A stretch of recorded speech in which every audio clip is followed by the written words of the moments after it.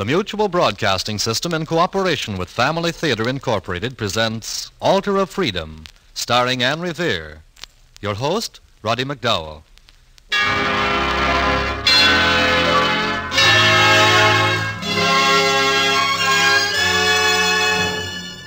More things are wrought by prayer than this world dreams of.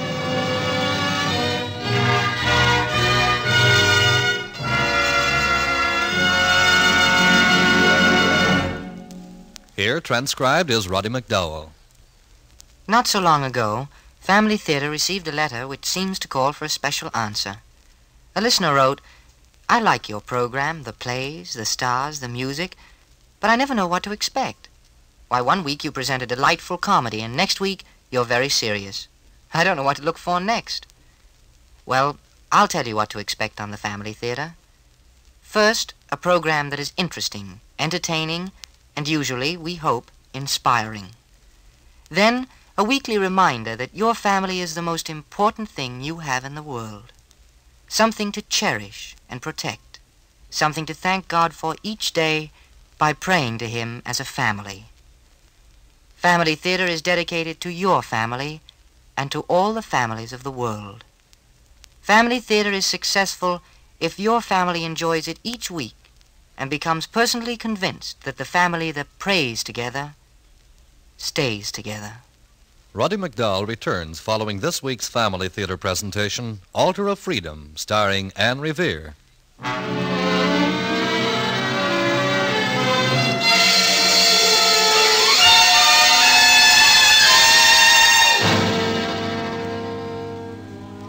William Schouler, that's my name, the Adjutant General of Massachusetts. And with a war going on, one of my duties is reporting to the governor about the casualty lists that come to me every morning from the War Department. You know, if it was up to me, there'd never be any more wars. I hate the useless slaughter, the wanton destruction of property, the hardships and heartbreaks that are caused by war. But it's not up to me. My job, as I said, is checking the casualty lists and talking with callers like Mrs. Bixby. General Schouler? The man outside said I should come in. Oh, why don't you sit down? You're, uh, Mrs. Bixby. Lydia Bixby. address? 15 Dover Street here in Boston. Husband's occupation? I'm a widow. I see. Any children? Five. Oh, five. Quite a family, Mrs. Bixby. Yes, five boys. Five wonderful boys. And that's what's so terrible. They want to go in the army. They're all, well, three of them are, and you see, that only leaves two, and before long, and they mustn't. They mustn't. Do you understand? Oh, understand? please, Mrs. Bixby, don't get nervous. But you'll have to start at the beginning if you want me to help you. I'm sorry, I am mixed up. I'll, I'll try to be a little clearer. As I said, I have five boys Charles, Henry, Oliver, Edward, George. And they're all.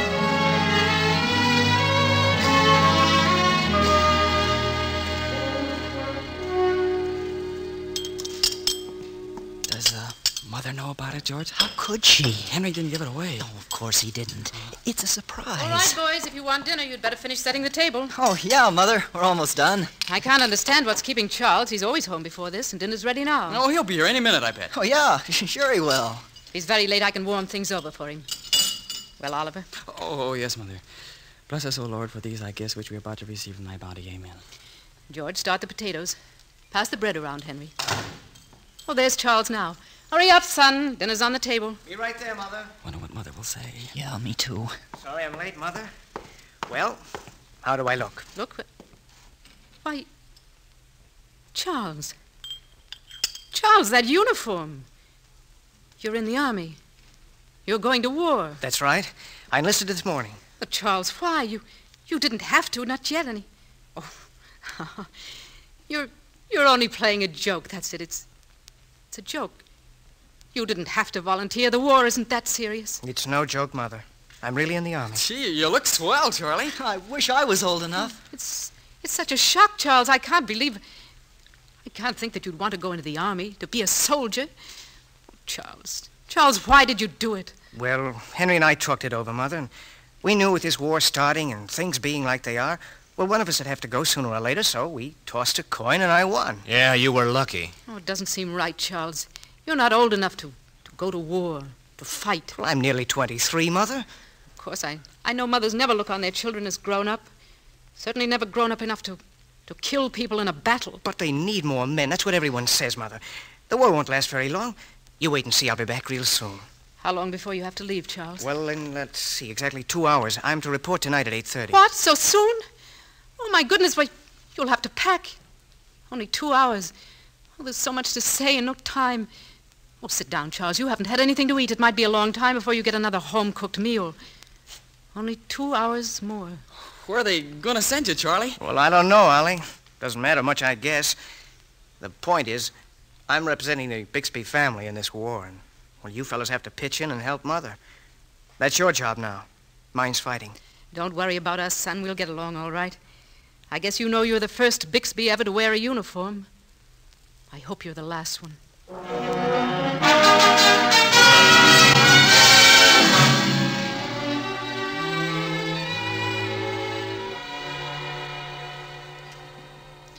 First it's Charles, and now you, Henry. I know, mo- It's only been three months since Charles left. I was just beginning to recover from that shock. but Mother, I... Of course, Henry, I know I'm only your mother, but you might have talked to me about it first before you enlisted.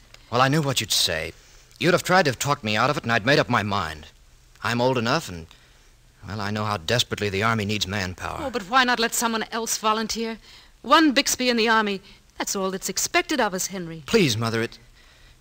Well, it was something I felt I had to do. I felt I owed it to my country.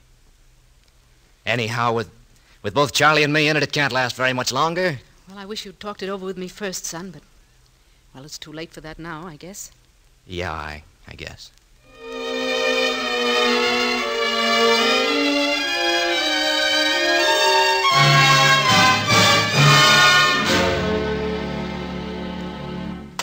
Mother! Oh, Mother, I got that job I was telling you. Oh, Mother, what's wrong? You've been crying. Is it. It's, it's the conscription. It's Edward. Oh. He has to go to war, too. I just found out. Ed does?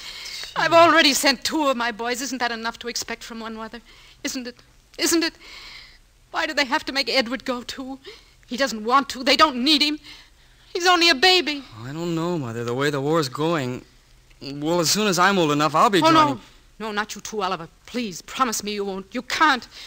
Oh, why would you do that to me? Oh, don't you see, Mother? I wouldn't be doing anything to you. I'd be doing something for you. I'll be fighting for you.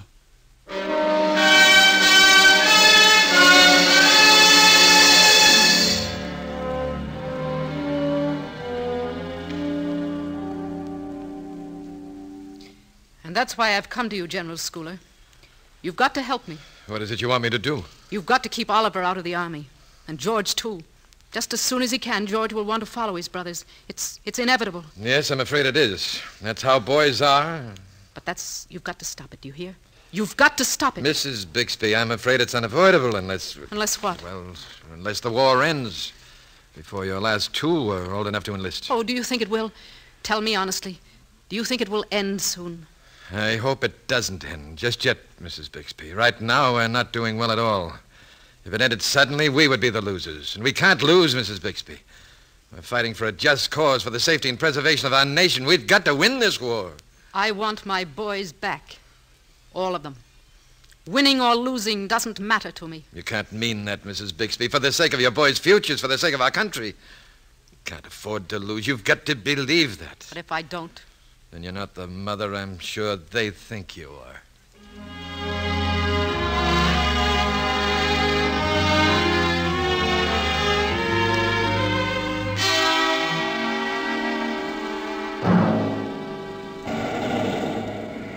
Hey, Yeah? ain't your name Bigsby, buddy? That's right. Come on over here. You might know this fella I'm working on. His name's Bigsby, too. What?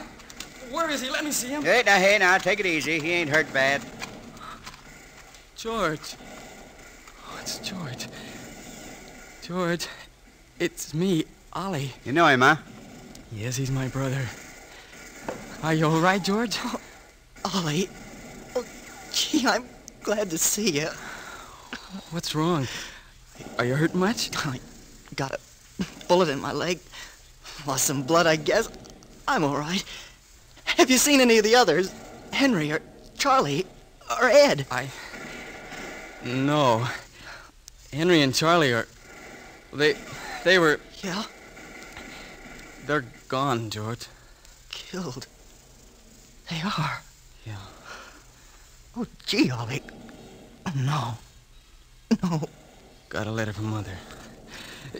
You want to read it? It just came yesterday. Henry and Charlie. Both gone. Gee. Well, that's war, George. You gotta expect it, I guess. But it's awful tough on Mother. No news about Ed. No. I haven't heard a thing. I can't get over Henry. Uh, Charlie. I guess I never thought of war being like this. Oh, look, Ollie. Can you stay with me for a while? I'd sort of like to talk. Oh, no, George. I wish I could, but my outfit's moving on after we Oh, I- eat, and I. we- I just hope. Oh, well, I'll see you later, huh? Yeah. Later. Somewhere. I don't like this war business, Ollie. I don't either. Neither does Mother.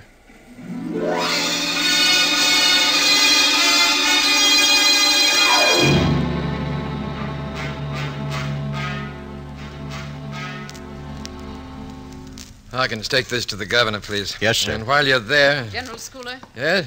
Oh, Mrs. Bixby. I didn't expect to see you today. Come into my office.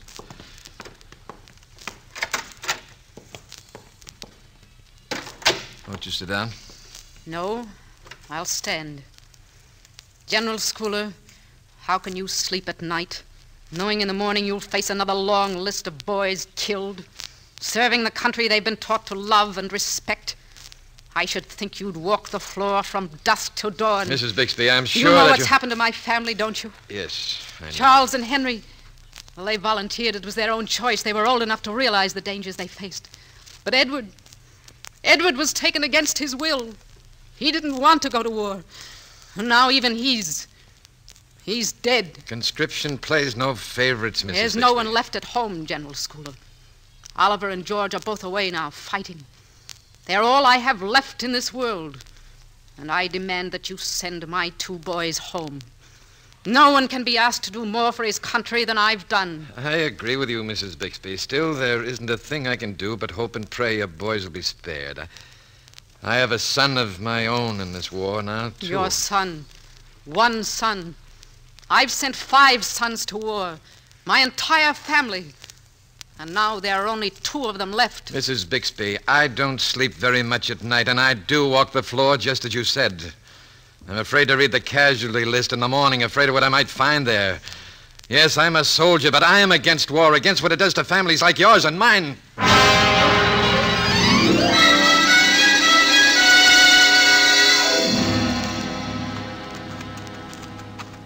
This is the place, Hawkins. Bring the box and come along with me. Yes, sir. That box is too heavy. You can put it on the porch. It's all right, sir. Good morning, Mrs. Bixby. By General Schouler. Not General, Mrs. Bixby. This morning I am just plain William Schouler, private citizen. Well, I, I'll get right to the point. I know all about the hardships you're facing. I know you're having trouble making ends meet, and Yes, you know this? I do. And I, I've taken the liberty of talking about it with some members of my church, and we've, well, we've collected a box of staples for you flour, sugars, and meat, and What? vegetables, and, and we also have a small present of some money that. uh, General Schouler, I've never been insulted like this before in my life. Did my visits to you imply that I was asking for charity? Now, wait, Mrs. Do you think I can't see through this miserable scheme of yours? Trying to trade a few pounds of flour and sugar for the lives of my three sons? Mrs. Bixby, stop it. Now, don't be a fool. I'm only a widow. There's nothing I can do about it. Uh, Mrs. Bixby, you're so upset, so emotionally disturbed, you don't realize what you owe the two boys who are still away to war fighting for you. I know how little food you have been able to buy. I know that you're nearly starving because you don't get enough to eat. If you go on this way, there'll be no mother left to welcome those two boys home. Have you thought of that? No. No, I never looked at it like that. Isn't it difficult enough for them as it is without having the additional worry of their mother's health on their minds? This food isn't meant to be charity, Mrs. Bixby. It's. oh, It's medicine. You need to take it. Yes, I do need it, General Schouler. Thank you. And I'm I'm sorry for the things I said. Oh, Mrs. Bixby, there, there are times when I'm quite deaf. You know, I haven't heard a single word you've said since I came here. Goodbye, and let's hope for the best.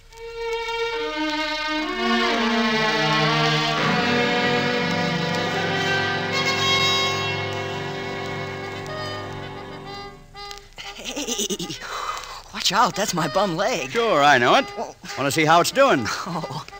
Hey, say, you're the fella, aren't you, who fixed it up yesterday? Yep. Hey, it's doing all right, too. You'll be up and around another two or three weeks. Wait, you remember my brother?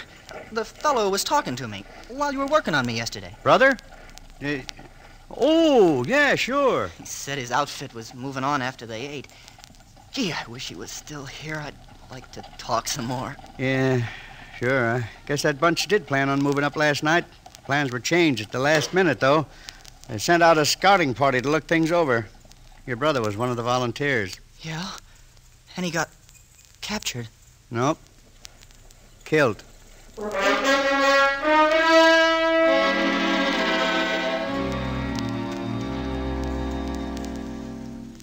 I came to your house as soon as I read the casualty list this morning, Mrs. Bixby. I'm.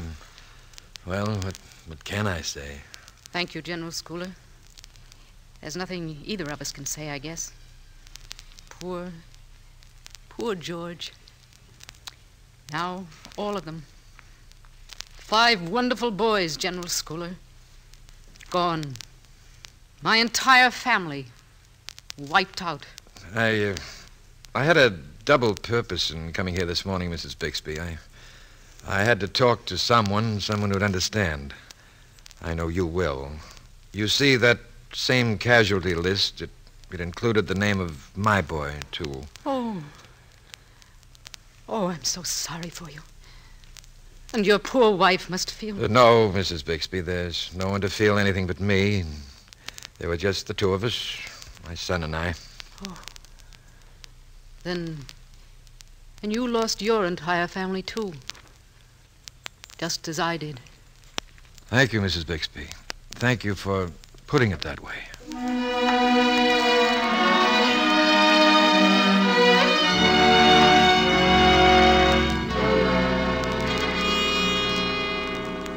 The governor will see you, General Schouler. Go right in. Thank you, Wilson. Oh, come in, Schouler. Terrible about your son, terrible. My sympathy Uh, goes out thank to you. Thank you, sir, but that's not what I wanted to see you about. Oh? You've heard me speak of a Mrs. Bixby, had five boys in the service. Uh, last I heard, she'd lost two or three of them, hadn't she? How's the poor woman bearing up? She's lost all five, Governor. Word just came through this morning. No. Why, that's. That's a national tragedy, Schouler. Five boys from one family. It's. What can we do about it? I thought maybe you might uh, ask that same question of the War Department. We can't overlook this woman's great sacrifice, Governor. Oh, certainly not. I'll get to the department right away, Schouler. Make sure of the facts first, and then see if they, there are any suggestions.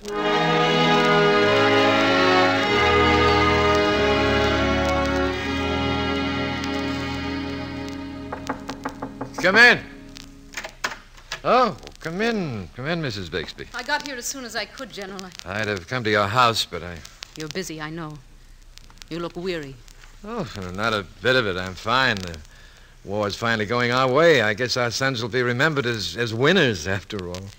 I couldn't feel any prouder of them, regardless of the outcome, General Schouler. I know. I, It's just, well, you know and I know how they fought and died for their country.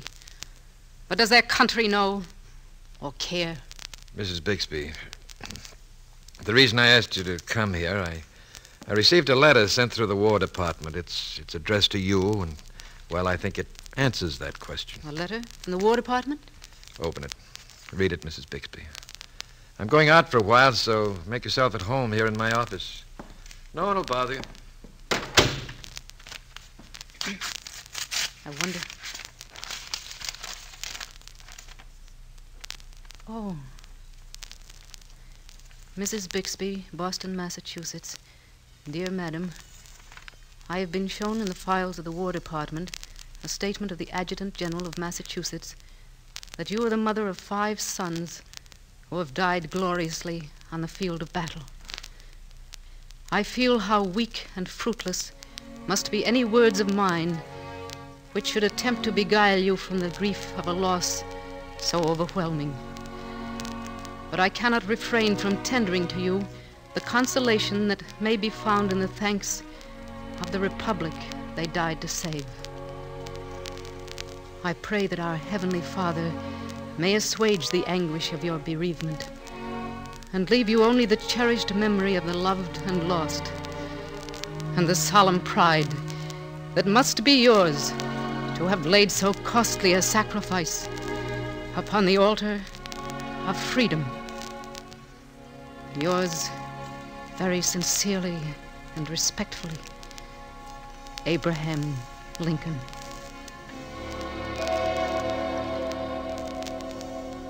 Thank you.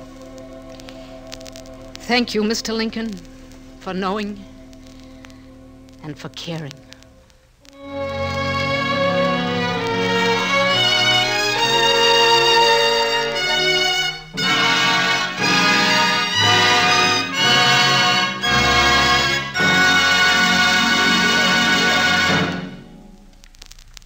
This is Roddy McDowall again.